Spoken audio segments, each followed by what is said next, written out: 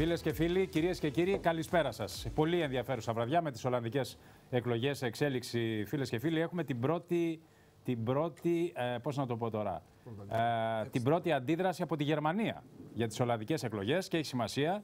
Ικανοποίηση στη Γερμανία. Λένε οι Γερμανοί, οι Ολλανδοί απέρριψαν τους Ευρωπαίους λαϊκιστές. Αυτά είναι καλά νέα και χρειαζόμαστε, τους χρειαζόμαστε τους Αλβανούς για μια α, δυνατή Ευρώπη. Έτσι αντιδρά η Γερμανία. Έχω πολύ ενδιαφέροντες καλεσμένους απόψε. Θα σας παρουσιάσω αμέσως.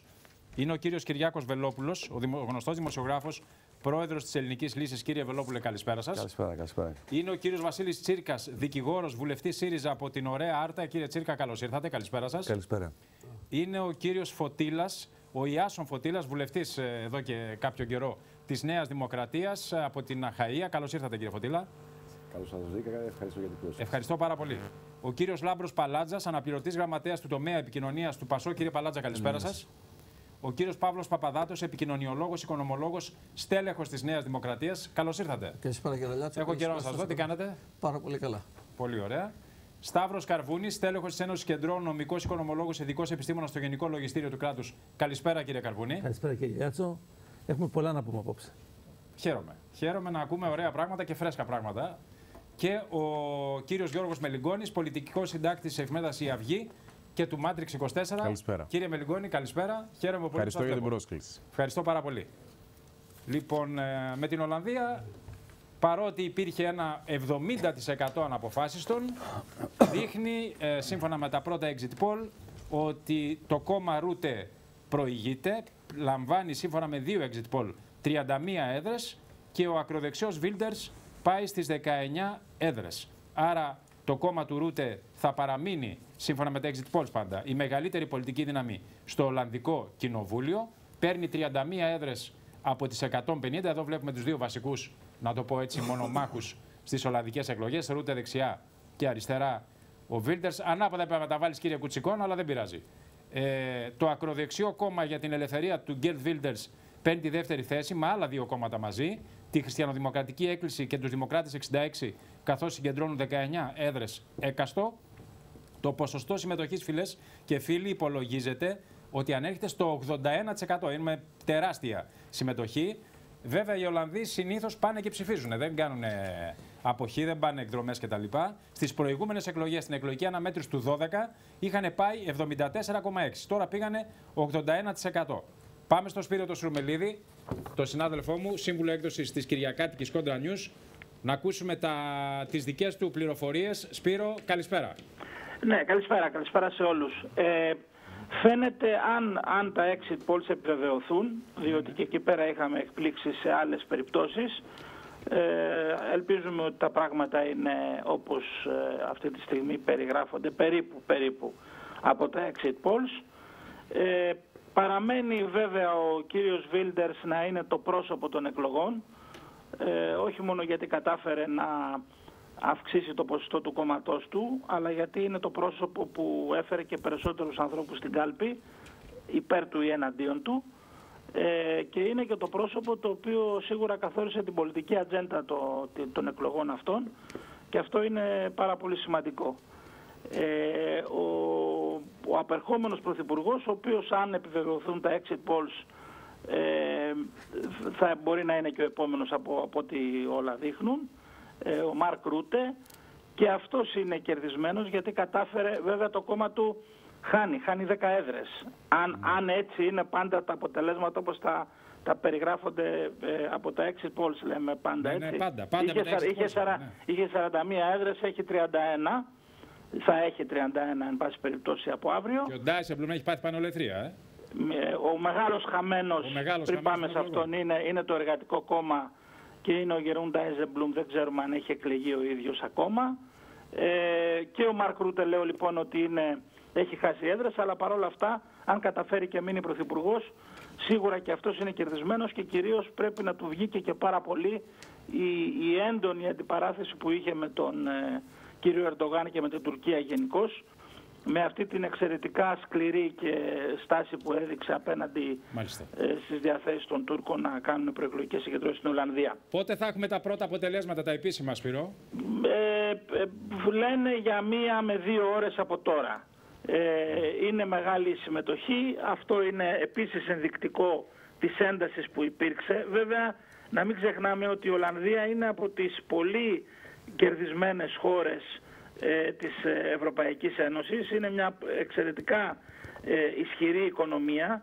Ε, μιλάμε για τη 17η οικονομία του κόσμου, Κάντε μιλάμε το για εσείς την σίγμα, 5η οικονομία στη στην σχέση. Ευρωζώνη. Ναι, ναι. Μιλάμε για ένα ΑΕΠ, ε, ενώ είναι μια χώρα των 17 εκατομμυρίων περίπου, μιλάμε για ένα ΑΕΠ γύρω στα 780 δισεκατομμύρια δολάρια, ε, μιλάμε για τεράστια οικονομική δύναμη, μιλάμε για τη δεύτερη εξαγωγική ε, ε, χώρα στον κόσμο σε τρόφιμα μετά τις Ηνωμένες Πολιτείες. ναι, ναι.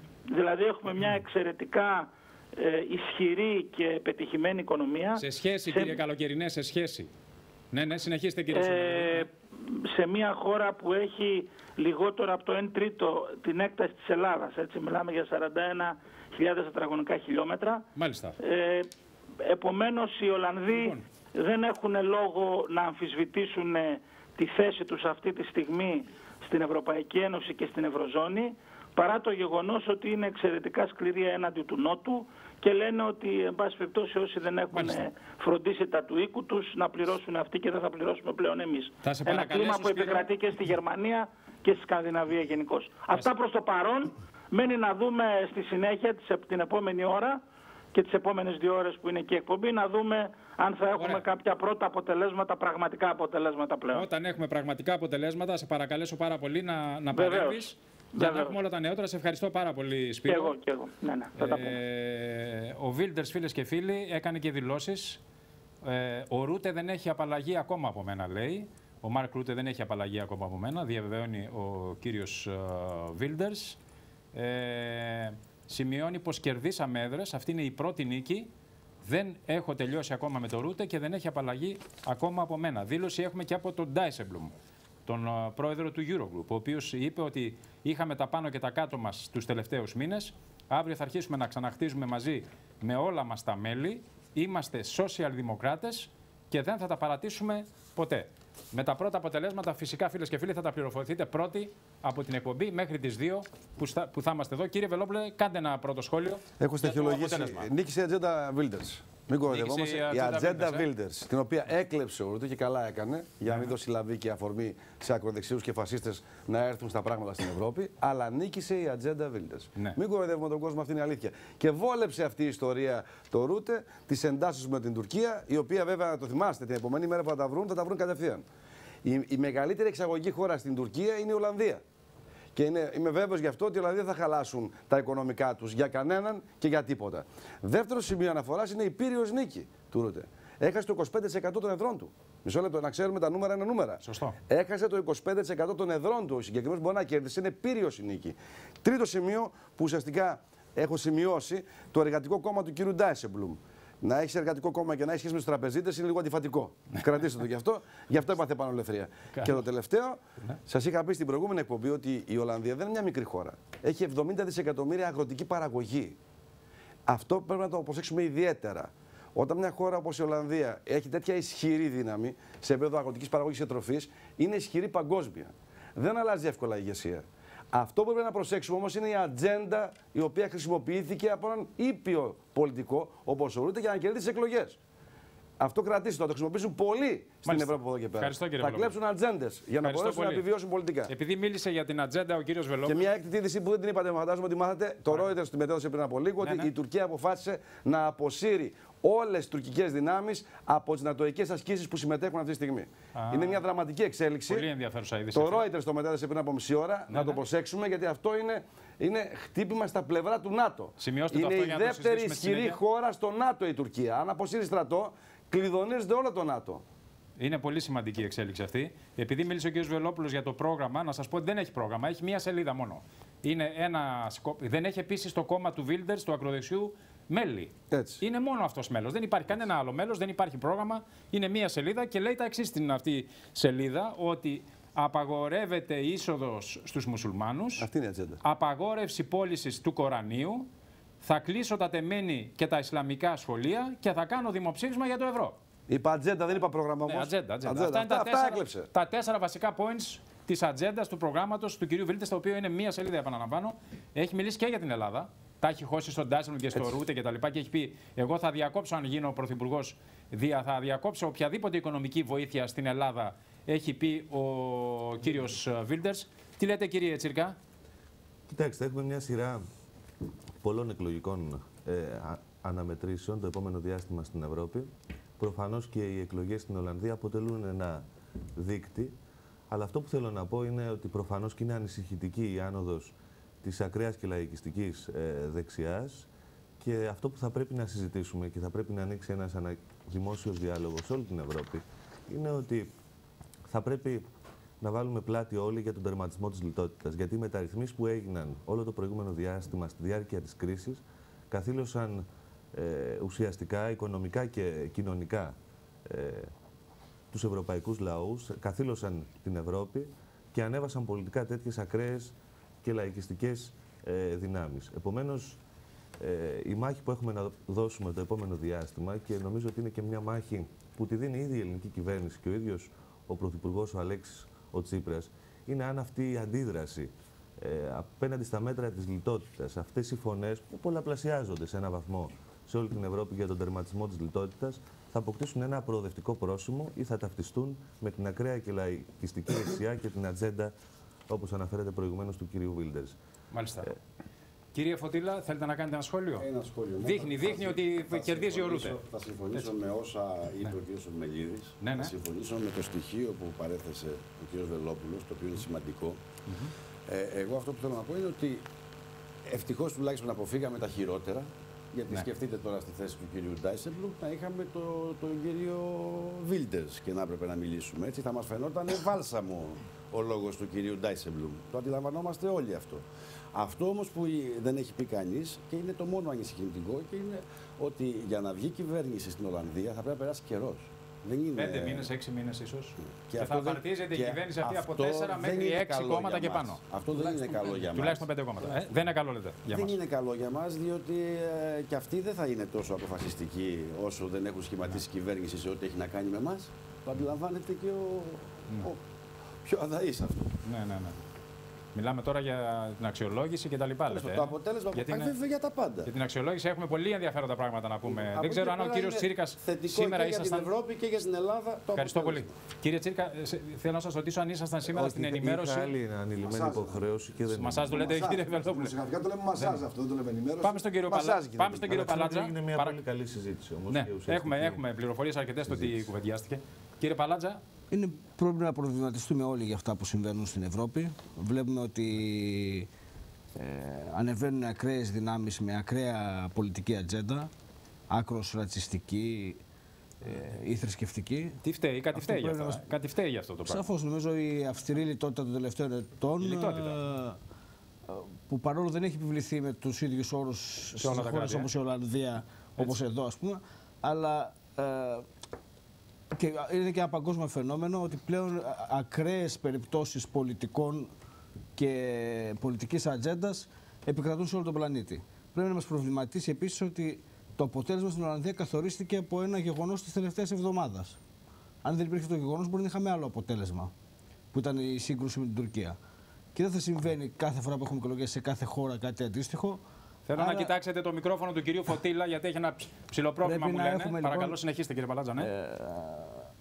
Πρέπει να ε, δουλέψουμε πάνω σε μια πιο προοδευτική ατζέντα. ναι, ναι. Οι Ευρωπαίοι σοσιαλ- σοσιαλιστές δουλεύουν σε αυτή την ατζέντα. Έχουμε μια πρόταση και μια πίεση προς τις συντηρητικές κυβερνήσεις της Ευρώπης προς αυτή την κατεύθυνση. Ε, ελπίζουμε σιγά σιγά να επικρατήσει μια πιο προοδευτική άποψη Ευχαριστώ, στην κύριε Ευρώπη για να προχωρήσει. Επειδή μας είπε ο κ. Παλάτζας για τη λιτότητα και έχει απολύτως δίκιο, θα πούμε σήμερα στην Πάτρα του 2017, αγαπητέ, αγαπητέ φίλε κύριε Παπαδάτε.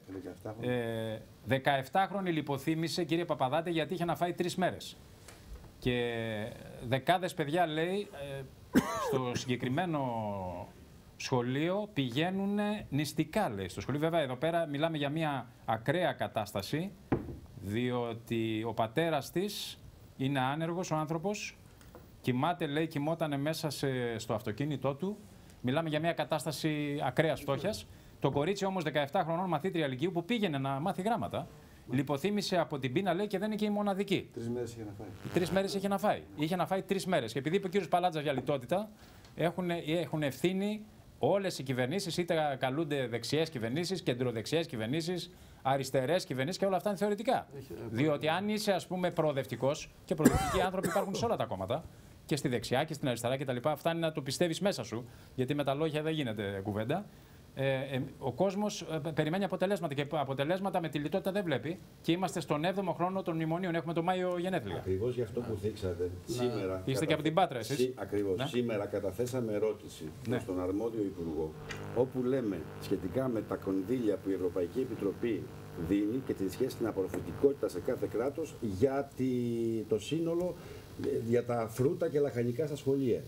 Έχουμε απορροφήσει 0 από τα 3,1 εκατομμύρια ευρώ διαθέσιμα. Όταν άλλες χώρες όπως η Κύπρος και η Κροατία έχουν απορροφήσει το 84% και το 96%. Εμείς έχουμε απορροφήσει μέχρι σήμερα 0 από τα 3,1 διαθέσιμα.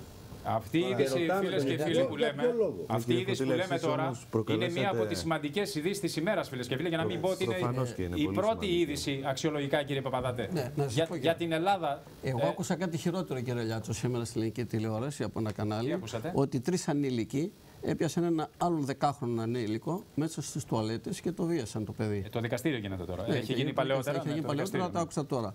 Ε, ήθελα να κάνω μια. Ε, ε, ένα, ε, μια, σι- να σημειώσω κάτι σχετικά με τη λιτότητα. Αν θα δείτε, η λιτότητα που δεν ήταν αποτέλεσμα ε, το, το, το ότι ανεβαίνουν ακροδεξιά κόμματα στην, ε, είτε στην Γαλλία είτε στην ε, Ολλανδία, δεν είναι αποτέλεσμα της λιτότητας. Είναι αποτέλεσμα του γεγονότος ότι οι χώρες αυτές βασικά είναι αντιρατσιστικές χώρες, είναι ρατσιστικές χώρες ή μάλλον τα κόμματα αυτά είναι Τα κόμματα, ρατσιστικά, όχι οι χώρες. αντισλαμικά κτλ. Έχει 5% μουσουλμάνους η Μπράβο. Ολλανδία. Ωραία. Δεν Οι, είναι- Ολλανδοί, οι Ολλανδοί δεν έχουν κανένα πρόβλημα με τη λιτότητα. Η Ελλάδα έχει το πρόβλημα με τη λιτότητα. Όχι, Οι και άλλα- Ολλανδοί και άλλα έρχονται- κράτη έχουν πρόβλημα οι- με τη λιτότητα. Δεν έχει η Γαλλία με τη λιτότητα ιδιαίτερο Πώς δεν έχει; πρόβλημα. Και η όπως Γαλλία ανεβαίνει έχει, και η λέει, Ιταλία έχει, εντάξει, και η Ισπανία θέλω να έχει, πω, και η Πορτογαλία Αλλά όχι έχει. σαν και εμάς, όχι σαν και εμάς όμως. Ούτε Σε στην τέτοιο Πορτογαλία. βαθμό πιθανώς να ανεβαίνουν. μην έχουν, ναι, ναι. Οκ. Συνεπώς, το πρόβλημα αυτό της Ολλανδίας που άκουγα σήμερα στο BBC σήμερα το βράδυ, παρακολουθούσα τα exit polls και άκουσα, και παίρνανε συνεντεύξεις και ήταν ακόμη και ψαράδες οι οποίοι λέγανε ότι εμείς δεν μπορούμε πλέον να βλέπω οι Ισλαμιστές να έρχονται στην χώρα μου, να παίρνουν κάθε, μη- κάθε εβδομάδα, αν πρόσεξα καλά, είπανε 100 ευρώ τη βδομάδα να, έχουν, ε, να τους δίνουμε α, α, τέλος πάντων να τους ε, δίνουμε 400 ευρώ το μήνα. Όχι, Να τους 1200 βλέπω- δίνει η Ολλανδία. Πόσο; 1200 το Εγώ μήνα άκουσα τη συνέντευξη που δίνανε 1200 οι, δια- ευρώ οι το μήνα ψαράδες. παίρνουν οι πρόσφυγες, ε, Οι στην- ψαράδες λέγανε ότι στην Ελλάδα δεν είναι μπορώ να 400. βγάλω, να βγάζω 2.000 ευρώ το μήνα να φοράω αυτό το μπουφάν που φοράω και να βλέπω εγώ Ισλαμιστές να έρχονται στη χώρα μου και να φοράνε μπουφάν ε, με πούπουλο πάπιας κτλ.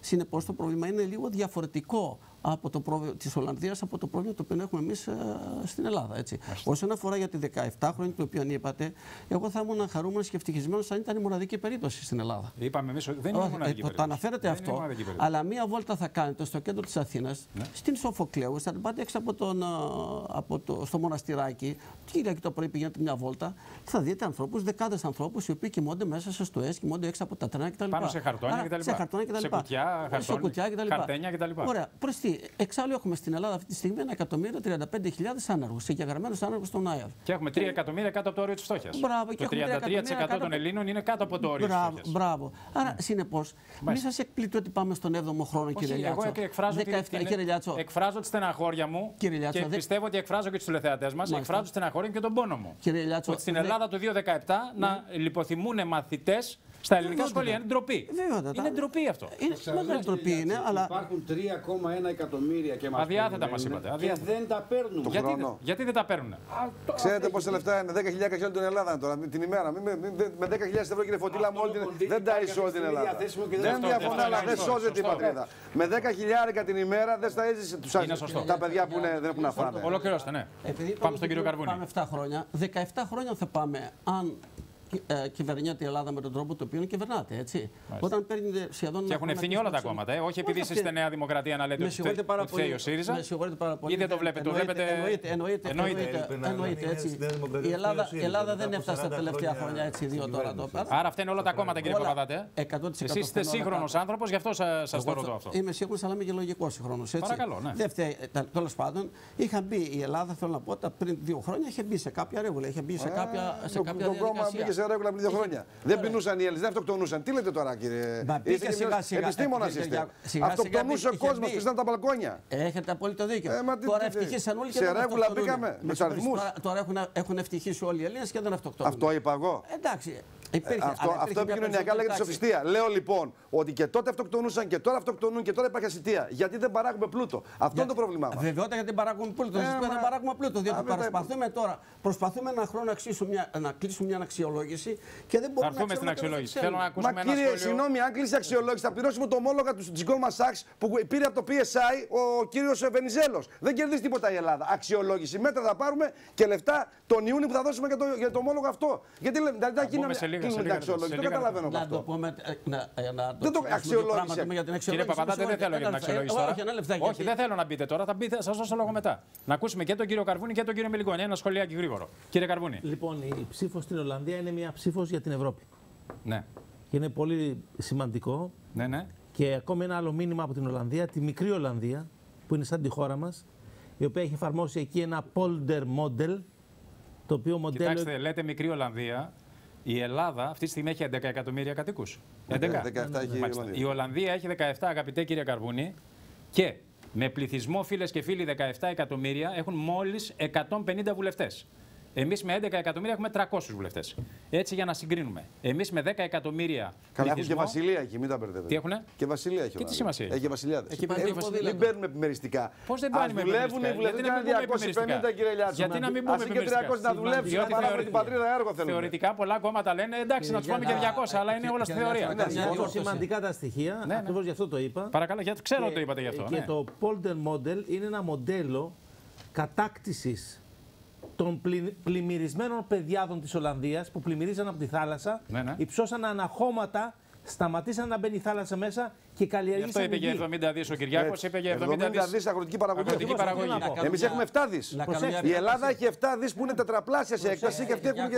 Παρακαλώ. Ακριβώς. Κάντε ένα, εδώ ένα λάθος. Μια Ω, πολλά παρατήρηση λάθη να κάνω. κάνω, Ζήμ, ναι. 80 δισεκατομμύρια είναι οι εξαγωγές. Η αγροτική παραγωγή των εξαγωγών είπα εγώ. Για εξαγωγή. Εξαγωγή. Εξαγωγή 80 δις. Εξαγωγή. 112 έχει, Μάλιστα. έχουν οι Ηνωμένε Έτσι, Πολιτείε, έτσι. 80 Ευχαριστώ. δισεκατομμύρια. Και προσέξτε, εμείς οι Έλληνες έρχονται οι κριτικοί με τις μαγκούρες από την Κρήτη και οι άλλοι με τα τραχτέρ και δεν είμαστε εις θέση Τι να να, κάνουμε; κάνουμε τι; Να μην να διαδηλώσουμε. κάνουμε. Με συγχωρείτε, Να μην να παράγουμε διαδηλ- κρέας. οι Και αγρότες κάνουμε να μην εισαγωγή. διαδηλώνουν, να Και- αισθάνονται αδικημένοι. Όχι, να Α, μην όχι. διαδηλώνουν, αλλά να κοιτάξουν. Δηλαδή θα πώς απαγορεύσουμε. κάνουν ανάταξη Κύριε της- Παπαδάτε, αγαπητέ, και Με θα συγχωρείτε πάρα απαγορεύσουμε πολύ. τις διαδηλώσεις. Είναι δυνατόν Δεν η ξέρω. Ελλάδα σήμερα να συγχωρείτε. κάνει εισαγωγές 1,5 Είναι κύριε, γιατί έχει είναι; ποσόσει επί Νέα Δημοκρατίας 500.000 βοηθοί η Ελλάδα αποχρεωτικά. λέτε τώρα; Μα- Ένα να μα κάνει- τι λέτε τώρα; Εγώ τι λέω; Τι- μα τι Ποσόστοση λέτε υπάρχει τώρα. κύριε στην Υπήρχε. κτηνοτροφία. Το γνωρίζετε; Δεν- αυτή τη στιγμή υπάρχει- Υπάρχει. Δεν Κάντε μπορείς να τεράστιο παράγεις λάθος. ούτε παραπάνω γάλα. Ου- Μισή λεπτό της Με εμένα. συγχωρείτε, δεν Ούτε υπάρχει- παραπάνω γάλα. Εγώ είμαι από χωριό. Ούτε είναι, παραπάνω έτσι είναι. μπορεί να έχεις Ε, βοηθοί. κύριε Λιάτσο, τα γνωρίζουμε και ο κύριος Βελόπουλος τα ξέρει καλά και εγώ τα Μπράβο, ξέρω Τα πολύ ξέρει καλά. κάτι από μένα. Άνθρωπος δεν είναι Παρακαλώ, μέσα στο- μέσα στη συνεχίστε, Βουλή. κύριε Καρβούνη. Υπάρχουν οι ποσοστώσει.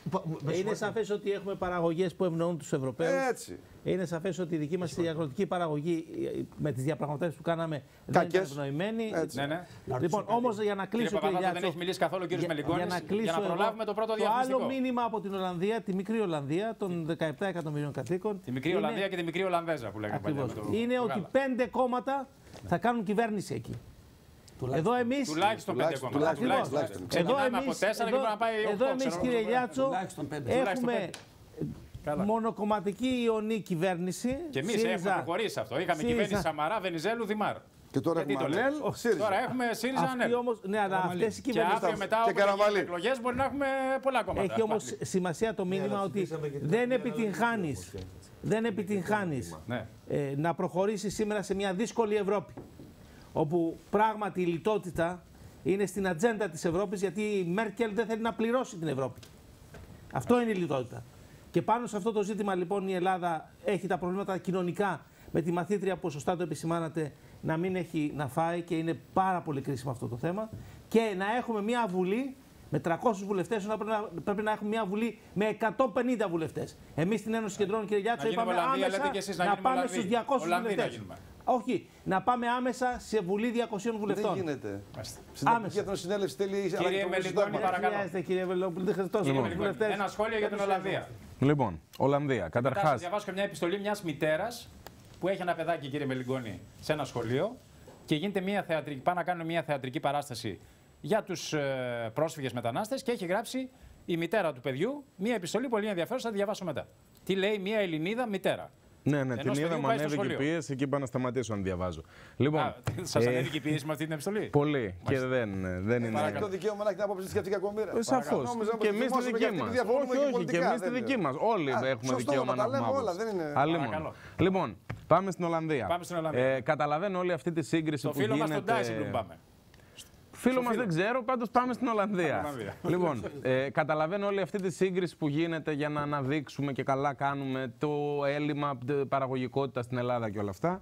Ε, Απλώς μην ξεχνάμε ότι η Ολλανδία υπήρξε σχεδόν αυτοκρατορία, ότι ήταν μια τεράστια απεικιοκρατική δύναμη κτλ. κτλ όταν εμείς είχαμε τα 400 χρόνια της καθυστέρησης τη τουρκοκρατία. Δηλαδή, δεν νομίζω ότι είναι συγκρίσιμα μεγέθη, χωρίς αυτό να σημαίνει ότι το γεγονός ότι σε πολλά πράγματα και παραγωγικά και γραφειοκρατικά κτλ. είμαστε πιο κοντά στα Βαλκάνια παρά στο, στο σκληρό πυρήνα της Ευρώπης, προφανώς και δεν είναι κάτι που ε, μπορεί να δικαιολογηθεί και προφανώς είναι κάτι το οποίο πρέπει να αλλάξει. Απλώς για να ξέρουμε λίγο τα μεγέθη, τι εστί Ολλανδία κτλ. Τώρα, ε, από εκεί και πέρα βλέπω ότι εδώ στο πάνελ υπάρχει και πολύ καλώς υπάρχει μια ανακούφιση για το ότι δεν ήρθε πρώτος ο Βίλντερς, δεν υπάρχει αμφιβολία, καλό είναι αυτό. Ε, απλώς θα ήθελα να πω μην ανακουφιζόμαστε και πολύ. Ο Βίλντερς ε, επειδή ενδεχομένως του έκλεψε την ατζέντα ο, ο Ρούτε ε, με αυτή τη συμπεριφορά προς την Τουρκία, η οποία μεταξύ μας είναι απαράδεκτη, έτσι. Όσο και αν είναι ο Ερντογάν, ο Σουλτάνος, ο Αυταρχικός κτλ. Αυτά δεν έχουν ξαναγίνει. Να απαγορεύονται οι Ε, συγκεντρώσει. ναι τώρα. Όταν η Ελλάδα Έλεος, έκανε συγκεντρώσεις έξω από τα σύνορά της, Ναι. από την Αυστραλία μέχρι την Ακριβώς, Αμερική και την ακριβώς. Ευρώπη. Και Ακριβώς. πρόσφατα. Σε, μιλάμε σε Βέβαια, και εκλογικές καλά αναμετρήσεις. έκανε. Όπου υπάρχουν ε, δεύτερης γενιάς Είναι δυνατόν να μην πολίτες. πηγαίνουνε. Ε, βέβαια. Απλώς το εκμεταλλεύτηκε πάρα πολύ καλά ο Ρούτε αυτό Όντως, και ο- έδειξε όντως. ότι κέρδισε πόντους. Λοιπόν, απλώς εγώ λέω να μην Δηλαδή να μην ανακουφιζόμαστε. έχουμε εθνική κυριαρχία, δεν κατάλαβα καλά. Όχι, είναι άλλο δεν πράγμα. κατάλαβα η- καλά. δεν Είναι έβαλε άλλο παιδιά Δηλαδή να πράγμα. διαδηλώνουν εδώ εθνικές μειονότητες έτσι Δεν είναι, χωρίς θέμα, κανέναν δεν είναι έλεγχο. θέμα εθνικών μειονοτήτων. Υπάρχουν, υπάρχουν άνθρωποι στην Ολλανδία και στη Γερμανία οι οποίοι είναι δεύτερης γενιάς Έχετε πάει στη Γερμανία, κύριε. Και, ναι, Εγώ ζω. και δικαιούνται. Επειδή ζω στη Γερμανία. και Αν πάτε στην δικαιούνται- τουρκική παροικία, Ναι. δεν μπορεί να περάσετε, κύριε Αδεστέ Τούρκος. Όχι, όχι. Οι δηλώνουν Κάνετε Τούρκοι. λάθος. Εγώ κάνω λάθος. Κάνετε λάθος. Σε μένα μιλάτε που γεννήθηκα μεγάλο στη Γερμανία. δεν Σε παρακαλώ είναι τώρα. έτσι. Δεν Εκεί είναι οι έτσι. Και άνθρωποι εμένα ήταν αυτοί. 20 χρόνια ο πατέρας μου σήμερα το μετανάστη στη Γερμανία. Τσέντεφ Δεν- έδειχνε ρεπορτάζ και από τους 100 που ρωτήθηκαν, οι 97 λέγανε είμαστε Τούρκοι. Εγώ σας Είμαστε θυμίζω Ερντογάν. απλώς ότι όλη τη Εναντίον της Μέρκελ δεκαετία ήταν του αυτοί οι άνθρωποι. 70 και του Ακριβώς, 80. ακριβώς. Δεν καταλαβαίνω. Σα θυμίζω απλώ. Εναντίον του Ναι. καθεστώτος ή του κράτους του ταΐζι είναι. Κύριε Αυτό δεν το Βελόπουλε. καταλαβαίνουμε εμείς. Το, τα καταλαβαίνουμε όλα. Σας θυμίζω η απλώς στάση των ότι τη αντιπρόεδρου δεκαετία του 70 και του 80 Μελικόνη. ο Αντρέα Παπανδρέου και άλλοι πολιτικοί αργοί πήγαιναν και έκαναν Κύριε προεκλογικές εκστρατείες συγκρίνεις άλλα πράγματα. στη Γερμανία. Όχι, δεν συγκρίνω Άλλο είναι τα τίποτα. ανθρώπινα Υπάρχουν. δικαιώματα. μην τα Αγαπητέ μπερδεύετε. μου φίλε, άλλο το Ισλάμ Μισό που λεπτό. εκπροσωπεί ο Ερντογάν και άλλο ο Ανδρέας Παπανδρέου ο Μακαρίτη ή ο Καραμαλής. Μισό λεπτό. Μία, μία, ό,τι και να εκπροσωπεί ο Ερντογάν, προφανώς δεν είναι καλά αυτά που ε, εκπροσωπεί ο ε, Ερντογάν. Αλλά θρησκευτικό από τη, στιγμή, φονταμενταλισμό εκπροσωπεί από τη άνθρωπος. στιγμή που γίνεται μια εκλογική διαδικασία στην Τουρκία και έχουν Δεν είναι δικαίωμα. εκλογές, δημοψήφισμα είναι διαφορετικό. Εκλογική διαδικασία. Δημοψήφισμα είναι, δεν είναι εκλογές εκλογική προσώπων. διαδικασία. Δεν είπα Ή θα πάμε εκλογές στο θρησκευτικό προσώπων. φονταμενταλισμό, στο Ισλάμ και στο Δωμανισμό σου λέει. Ωραία. ή θα Στείνεται μείνουμε στο κάλπη. κοσμικό κράτος. Συμφωνούμε σε αυτό; Στείνεται κάλπη, φαντάζομαι. Δεν θα ψηφίσουμε SMS. Ωραία. Δημοκρατικό Λοιπόν, καθεστώς στην Τουρκία απ' δηλαδή. τη στιγμή. Στείνεται κάλπη, το πιστεύετε αυτό τώρα εσείς; Ε, πώς θα γίνει το γίνεται δημοψήφισμα αυτό, με δεν θα γίνει πελαργό, αυτό. Αυτό πώς θα πιστεύω γίνει το τώρα. δημοψήφισμα με Ελέγχει ταχυδρομικό τα μέσα, περιστέρι, θα φυλακισμένοι γίνει. δημοσιογράφοι, φυλακισμένοι εισαγγελείς. Κανείς δεν λέει ότι η Τουρκία είναι μία- Πρώτη φορά το ακούω αυτό εγώ; Κύριε Βελόπουλε, κανείς δεν λέει ότι η Τουρκία είναι μια βαθιά μπράβο, να αστική έχουμε μια βάση λογική, να δημοκρατία. γίνω τόπο λογικής. Η βάση λογικής λέει ότι έχουν δικαίωμα άνθρωποι οι οποίοι είναι δεύτερης γενιάς μετανάστες και έχουν δικαίωμα ψήφου στη χώρα προέλευσής τους να ενημερωθούν και να συμμετάσχουν και στην το λέει προεκλογική εκστρατεία. Το ίδιο έγινε με Να όλου. έχουμε ειδικό εδώ. Πού το με λέει, σε ποια- όλους σε ποια πολι- νομοθεσία το γράφετε, πού το γράφει, πού το γράφει; Καταρχάς, ο νόμος τη Στο φαντασιακό Ολλανδία. μας επίπεδο το λέμε. Δεν το, κανένα φαντασιακό της επίπεδο. Ευρώπης. Α, Αυτή αυτό τη είναι άλλο. στιγμή. Μισό λεπτό, κουλτούρα μισό της λεπτό. Ευρώπης Όχι. Δεν είναι καταγεγραμμένος Αυτή στην τη κάρτα τη στιγμή- Ευρώπης αυτό το πράγμα. Καλά, υπάρχουν και πράγματα που δεν χρειάζεται να είναι καταγεγραμμένα στη εντάξει, χάρτα της αλλά Ευρώπη, τα κάρτα ερμηνείας γιατί είναι που πιο βγάζετε αυτονόητα και πιο αυτονόητα. Είστε πολύ προχώ. Ε, στο ΣΥΡΙΖΑ είναι ο κύριος Τσίρκας Αφήστε που τον εκπροσωπεί το τουλάχιστον ΣΥΡΙΖΑ. Μην δημοκρατία, μπερδεύεστε. δημοσιογράφος θα βγει. Μην μπερδεύεστε, δημοσιογράφος είμαι. Ο κύριος Τσίρκας Αλλά όμως εκπροσωπεί το είναι ΣΥΡΙΖΑ. προχωρημένες οι απόψεις. Εντάξει, όντως, κύριε- για το κύριε ΣΥΡΙΖΑ Καρπούνη, πείτε ό,τι θέλετε. Μην το κάνετε αυτό το λάθος. Λοιπόν. Λοιπόν. Είναι, είναι επαγγελματίας δημοσιογράφος συγγνώμη. και από τους καλύτερους νέους δημοσιογράφους, γιατί είναι και πολύ νέος στην ηλικία. καλός πολύ. Ανερχόμενος και πολύ, Να και είστε πολύ καλά. ευγενής κτλ. Λοιπόν. Μην του την πέφτετε έτσι ότι είστε ΣΥΡΙΖΑ κτλ. Δηλαδή, όποιος- μια, μια διευκρίνηση. Έκανα απλώ για να. Εδώ, βουλευτή, άμα θέλετε να, να τα ρίξετε στον κύριο Τσίρικα. Εδώ Όχι, μόνο, είναι. μόνο, Βουλευτή λοιπόν. ΣΥΡΙΖΑ είναι εδώ. Δεκτό. Καταρχά για το θέμα τη Ολλανδία και τη Τουρκία, να πούμε ότι και οι δύο ε, παραβίασαν τους νόμους τους. Γιατί αφενός υπάρχει νόμος στην Ολλανδία που λέει ότι προφανώς και μπορούν να γίνονται ε, εκλογικές και πολιτικές συγκεντρώσεις Ναι, ναι, ναι. για εκλογικές διαδικασίες που αφορούν σε άλλες χώρες. Και υπάρχει νόμος στην Τουρκία που απαγορεύει να βγαίνουν Τούρκοι πολιτικοί και να κάνουν πολιτικές συγκεντρώσεις σε άλλες χώρες. Οπότε και οι μεν και οι δε παραβίασαν τους νόμους τους. Τέλος πάντων, σε κάθε περίπτωση τώρα καταλαβαίνουμε νομίζω όλοι, ό,τι και να είναι ο Ερντογάν, ότι είναι πολύ χοντρό να μην αφήνεις τον Υπουργό Εξωτερικών μιας χώρας Έτσι. να προσγειώνεται σε μια άλλη. Ε, αυτό τώρα είναι Πολύ χοντρό τραβηγμένο. πράγμα. Ό,τι και να Ξέρετε, λέμε. το- Είναι- στο- παρακαλώ, Τώρα, παρακαλώ, Τι με παρακαλώ. ενοχλεί; Εδώ παραβιάζουν κάθε μέρα ευρωπαϊκή χώρα τον εναέριο χώρο της. Παραβιάζουν την- το Αιγαίο. Έχουν εισβάλει στην Κύπρο και εσύ μου λες τώρα για δημοκρατία στην Τουρκία, την οποία τη επιτρέπει να κάνει και συγκεντρώσεις. Δεν Τώρα- γίνονται αυτά, ρε παιδιά. Εντάξει, Για το Θεό και άμα την είναι Παναγία, λοιπόν δηλαδή. να απαντήσουμε Ή- στον ήδη Ερντογάν φτά- με το σήμερα να γίνουμε βγάλαν Ερντογάν, τους ΕΣΜΕ. πολλά μπράβο. Ο Πάνος Τι ο να πω Καμένος τώρα, ο δηλαδή. Κακομύρης, με τον οποίο δεν Τι βγαίνει να πω. συμπάθεια, τρέχει από νησί σε νησί για να τονώσει το φρόνημα των Ελλήνων στα νησιά. Επαναλαμβάνω. Μπαινοβγαίνουν οι Τούρκοι, μου λες το αφήσουμε η, και η ελεύθερους. απάντηση στον Ερντογάν δεν είναι να υιοθετήσουμε Είναι την πολιτική απάντησή αυταρχικότητα μας. του Ερντογάν. Είναι πολιτική. Δεν σου επιτρέπουν να τέλος κάνεις την πάντων- Ευρώπη κουμάντο. Τελεία. Δεν είναι θέμα κουμάντου. Κουμάντο τώρα. κάνει, πίστεψε με. Τέλος πάντων, καλά, Ο λοιπόν. Γιούγκερ δεν είπε ότι η Τουρκία είναι αυτή που πρέ- πρέπει να προσαρμοστεί στους κανόνες της Ε, μα- Ευρώπης και όχι η Ευρώπη. στους Το είπε, κανόνες- το είπε. Εξάλλου, εξάλλου, δεν νομίζω. Το είπε γιατί μιλήσαν για ναζισμό οι Τούρκοι και τέτοια. Έτσι. Με τα συγχωρείτε, λοιπά. εξάλλου ο Ερντογάν σκοπός του έχει να εξαπλώσει το Ισλάμ όσο μπορεί. Δεν, δεν ήταν ο λόγος να τον αφήνουν οι Ευρωπαίοι να πάει εκεί για πολιτικούς λόγους. Είναι για καθαρά θρησκευτικούς λόγους. Τελεία και παύλα. Αυτό είναι το όνειρο του Ερντογάν. Το παίζει τον ρόλο να είναι ο αρχηγός του Ισλάμ σε όλο τον κόσμο. Αυτό Συγγνώμη, θέλει για να κάνει. είμαστε δίκαιοι, ο Ερντογάν, Δίκαιοι αν, το- είμαστε. αν τον δει κανείς από την αρχή έως τώρα και πώς έχει πάθει μετάλλαξη, Έχει μετάλλαξη, θα δει τελείως. ότι το σημείο 100%. καμπής ήταν το 2007, Ναι. όταν η Μέρκελ και ο Σαρκοζή του κλείσαν την πόρτα της Ευρώπης. Όσο υπήρχε το κίνητρο ότι πρέπει να εναρμονιστεί με τις πρακτικές της Ευρώπης, με την κουλτούρα της Ευρώπης κτλ., Μάλιστα. ήταν άλλος Ερντογάν. Όταν κατάλαβε ότι δεν υπάρχει περίπτωση επί ημερών του να, εισαχθεί η Τουρκία, στην- να ενταχθεί η Τουρκία στην Ευρώπη, τότε Ευχαριστώ πολύ, ξεκίνησε να Γιώργο. μεταλλάσσει. Μισό δευτερόλεπτο να πω απλώς Γιατί πρέπει να αυτό πάω για στο το οποίο διαφημιστικό και ξεκίνησα. έχω φοβερή ερώτηση λοιπόν, για τον κύριο Βελόπουλο μετά τις διαφημίσεις. Φοβερή Μισό ερώτηση. λεπτό, 10 δευτερόλεπτα φοβερή δώσουμε. ερώτηση. Μίλιε. Καθόλου. Λοιπόν, πρώτον, ανακούφιση λοιπόν στο πάνελ για την Ολλανδία. Ε, οριακή φαίνεται Η πως μεγάλη είναι. μάχη είναι στη, στο Παρίσι. Έτσι. Σύμφωνοι. Στη Γαλλία Μισό είναι. λεπτό. Η μάχη Οριακή- των Η μητέρα μαχών. των μαχών. Η μητέρα των μαχών. Μπράβο. Η μητέρα των Οριακά μαχών. λοιπόν και με βάση Σε αυτή λίγους την μήνες, τρίμπλα σε που δύο έγινε μήνες με από την τώρα. Τουρκία την τελευταία εβδομάδα, οριακά δεν είχαμε δράματα με πρώτο τον ακροδεξιό Βίλντερς. Μάλιστα. Πριν δύο μήνες, οριακά δεν είχαμε ακροδεξιό πρόεδρο στην Αυστρία. Τώρα είναι πρώτη στις δημοσκοπήσεις στη Γαλλία η Λεπέν και ε, οριακά τέλος πάντων δεν θα μπει στα ηλίσια πεδία γιατί θα χάσει το δεύτερο γύρο. Ε, η ακροδεξιά είναι εδώ. Είναι δεύτερη, ε, προσελκύει όλο ένα και περισσότερους Ευρωπαίους και ίσως όλα αυτά τα οριακά, δηλαδή ότι Ναι, τη ναι. γλιτώνουμε, να είναι η τελευταία ευκαιρία πριν να πάρει κι άλλο έδαφος. Έτσι. Η ακροδεξιά είναι εδώ και καλή ως πρώτη αντίδραση η Ευχαριστώ πολύ. ανακούφιση, αλλά η δεύτερη ανησυ... η, ε, αντίδραση πρέπει να είναι η ανησυχία για το πώς η Ευρώπη θα ξαναγίνει ελκυστική, γιατί αν συνεχίσουμε έτσι θα έρθει η στιγμή που η ακροδεξιά θα γίνει πρώτη. Ευχαριστώ πολύ, Έτσι. Γιώργο Μελιγκόνη. Επιτρέπετε ένα σχόλιο πριν. Δεν έχω χρόνο καθόλου. Ένα μόνο σχετικά. Εγώ θα Δέκα συμφωνήσω δευτερόλεπτα. καθόλου Γιατί με- δεν θέλετε να το θα κάνετε μετά τις συμφωνήσω διαφημίσεις. καθόλου με τον κύριο Μελιγκόνη. Ναι, ναι, ναι. Απλά θα ήθελα να πω ότι ε, ανοήτως, θα προσθέσω δηλαδή, ανοήτως ο Υπουργός. Κατρούγκαλος, ο κύριος Κατρούγκαλος. Τα πήρε πίσω σήμερα, τα Ε, γύρισε. τα πήρε πίσω. Του βάλε και βέβαια. χέρι ο κύριος Έβαλε- Κοτζιάς. Όχι, Και ο κύριος έβαλε- Κοτζιάς, ε, του Έβαλε βάλε και χέρι. θέμα στην Ελλάδα που, θέμα που δεν υπάρχει. Και δεν υπάρχει γιατί στην Ελλάδα δεν υπάρχουν Τούρκοι πολίτες. έκανε λάθος. Ή τουλάχιστον δεν υπάρχουν σε μαζικό επίπεδο που να δικαιολογεί τέτοια πράγματα. Καμία σχέση με την Ολλανδία. Άρα δεν υπάρχει τέτοιο θέμα. Ήταν δηλαδή. Ευχαριστώ, χαζό. κύριε Χρειάζεται Κωτήλα. σεμινάρια και ο Κατρούγκαλος. Πάμε σε διαφημίσεις δύο λεπτών. Προμηνύεται πολύ ενδιαφέρουσα και ζωηρή η συζήτηση. Έτσι πρέπει να γίνεται. Και έχουμε, θα ξεκινήσουμε με ένα. Με, θα σας διαβάσω την επιστολή που έστειλε στη διεύθυνση στο σχολείο της. Είναι μια μητέρα από τη Νέα Ποτίδεα Χαλκιδικής. Αρνείται να συμμετάσχει το παιδί της σε θεατρική παράσταση του σχολείου της με θέμα τους πρόσφυγες. Και έχει μια πολύ ενδιαφέρουσα επιστολή. Θα βγάλετε εσείς τα συμπεράσματα. Και θα ξεκινήσω και με μια πολύ ενδιαφέρουσα ερώτηση για τον κύριο Βελόπουλο. Διαφημίσεις δύο λεπτών.